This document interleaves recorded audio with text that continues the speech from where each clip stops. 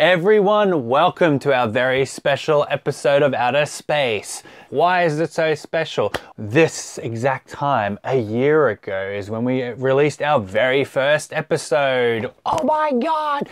We've been to Japan. We've been to other parts of Australia for conventions. We've done a ton of box openings. More box openings. Yeah. But one other thing we've also done is we done a few reviews. Now, correct me if I'm wrong, isn't this channel Outta Space Reviews, we're going to actually review some things. We're going to review items from the very first episode that we did. We said we were going to review them, and by gosh, we're going to do it today on the anniversary episode of Outta Space.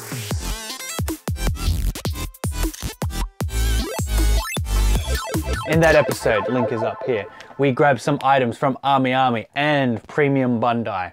So, first thing first, what we got? Go-on Red civilian jacket made into a hoodie. It's really comfortable. Um, I've worn it a few times. I know I don't wear my Brando things too much. It's nice and warm. Mm -hmm. So we went to Japan back in uh, 2018 to 2019. I wore it then because it was winter at the time. It was really comfortable and it was really nice to wear, especially because we went to some Sentai events, so it was just like cool to wear something like that. So yeah. Now also from that we got the Kamen Rider Genmu God Maximum Mighty Level Billion from SH Figuarts. Look at that. In show, it's actually a repaint, but this figure came out before Maximum Mighty X, so Ex-Aid's power-up form. It's weird. It's a repaint that came out first, so the actual figure, when it was finally released, was a repaint of this, so... I enjoy it. I, it's really cool. They don't normally do these big bulky robotic things. That's more for the Tamashii line. Arm joints are weird, but it makes it feel more robotic. Swivel in the ankle, nothing for the toe. It does bend at the back of the knee also for a separate joints. Um, it's got really good articulation. The belt also flicks open and close and you can take the Gashat out to either attach to his sword or if you want it to be really fancy you can attach it to just a level X Genmu and then that'd be cool to pose. So yeah, if you're a fan of Kuroto Dan, I highly recommend getting the figure. Otherwise it is a pass if you're not going to collect the whole set. But yeah, do what you do. The fact that they try to do different things with humanoid-esque um, characters is really good on their part, but also they're just trying to milk money from us fans. Yeah. All right, so moving on, we have Gotenks. This figure is of his Super Saiyan form. Um, does not come with a regular head, but it does as a gets as a plus. You get one of the ghosts for the Kamikaze ghosts. It's been in box for two years. The jams is no longer worth what it was before.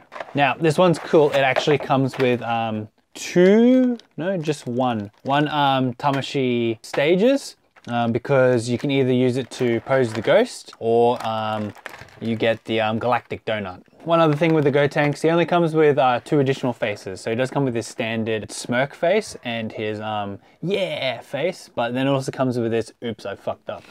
I would prefer maybe one other face, um, or even like they do with some later figures and just give him his normal head. So you just be like, ah, that's what he needs. He needs his sneer. He needs his sneering face. He's like, so you can get the one finger.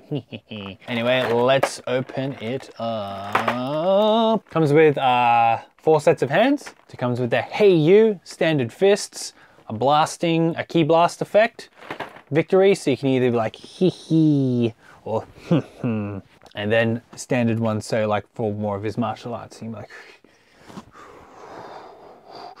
grapple. Now I find it weird that they'd package this um, donut I call it a donut attachment because it's literally for the donut here. But they would package it inside the plastic package instead of with the tamashii parts. Maybe it's for um, copyright purposes because there are some fakes of Dragon Ball figures. So if they don't make that, then people will be like, what's this piece for? And it's like, oh, well, looks like I bought a fake because they most likely won't come with the extra optional effects like a donut. It comes with the standard piece, which goes you can use it to connect this part here so you can have a higher up donut attachment. And the second one is a smaller one because it's exclusively made for the Ghost.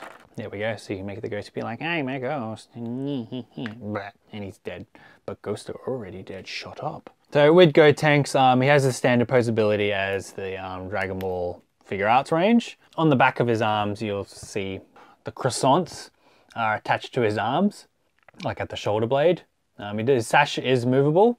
It can do splits pretty well, especially because this is under the uh, Dragon Ball 2.0 figure line. It has a weird crotch, as you can see in these shots. You have better movements for the legs, so you can do different poses of kicks compared to the original line where it was a bit more restrictive. Replacement faces are easy to take off. Hand replacements pretty simple. Getting the hands out is a different story.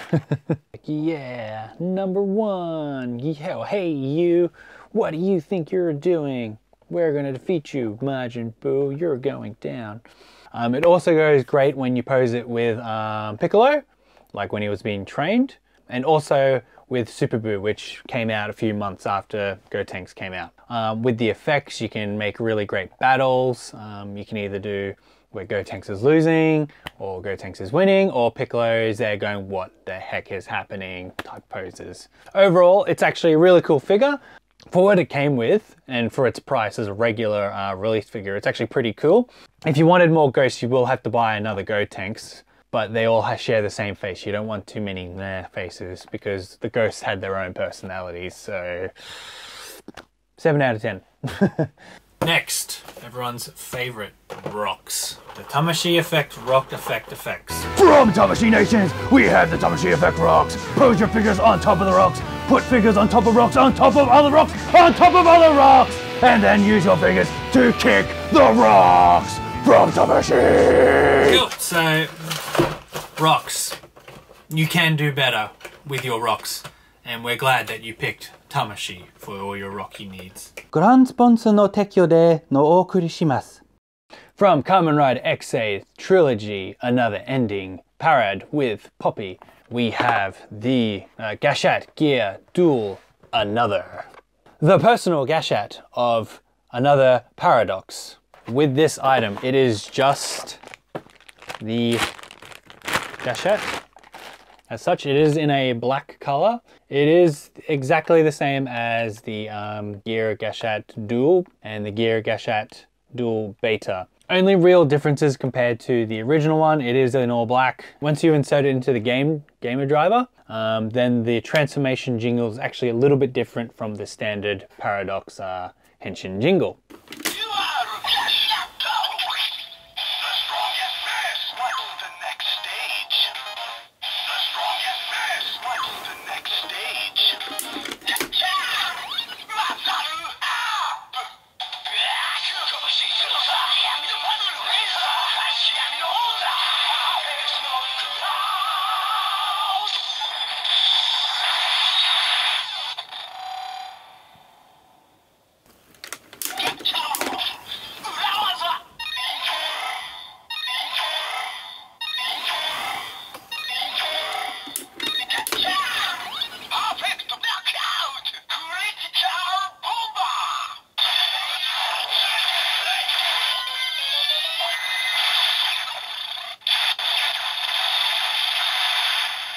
This was exclusively for P Bandai because they didn't expect so many to be sold as a regular. While back when um, Ex-Aid was out, the one of the harder things to get was the original Paradox um, Gashat and also the uh, Gashat Gear Dual Beta for uh, Snipe and Brave because they were also popular characters. So that's why anything that they think might not be popular will, like this, only made for a movie. Character wasn't that great. It was just a evil foil. It goes to P Bandai. It's mainly because, as I said before, it is just a, another color change to something that already exists. So you don't really need to add it to your collection unless you want all the cash Gashats like I do. All right, so moving on to the last three items, it's ride watches. So what we have are the Ghost ride watch and ride watch holder, the Fourze ride watch, and finally the Ex-Aid ride watch. Now, if I was to open them, you'll find that there's nothing there. Why is that? Because, there we go. So that's what a completed ride watch collection looks like. So this is what a whole year's worth of Kamen Rider DX toy collecting looks like. Kamen Rider Zi-O was a anniversary series, so that's why they were all powers of the different Kamen Riders. But for this review, we're only focusing on the three. This one, this one, and this one. With the ride watch holder, it does perfectly fit two ride watches on it, um, as seen in this picture right here. It's mainly you had to get it if you wanted to complete your tower of ride watches, but otherwise you could use it for costumes if you really wanted to. But kids like to display it in Japan, be like, wow, yeah, I got all these things. So let's get into it with the ride watches. So we got ourselves the Ghost Ride Watch.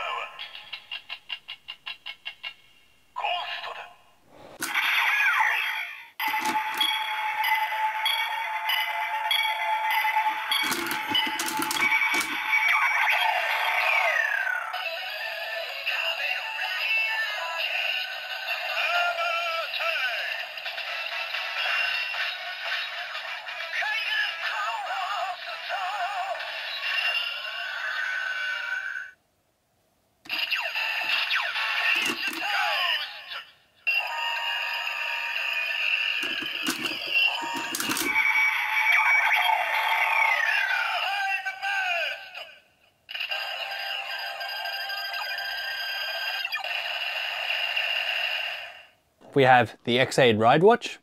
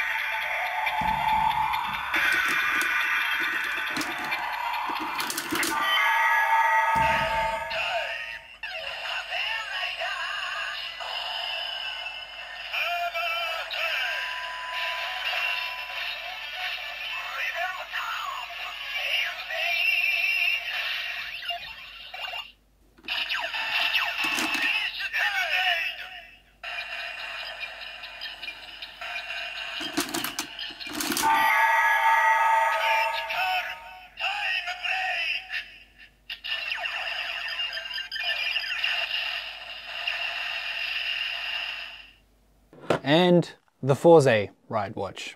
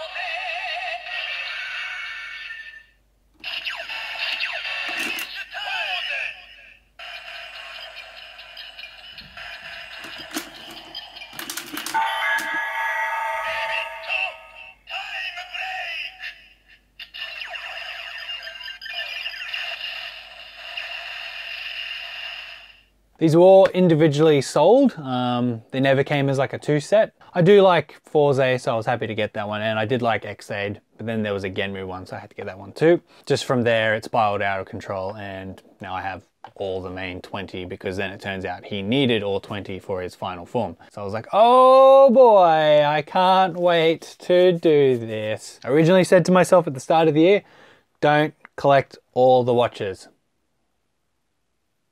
Oops. So yeah, that's today's episode. Um, as we saw, we went back and reviewed some of the crazy things that we got over a year ago. If you really enjoy our content, like and subscribe.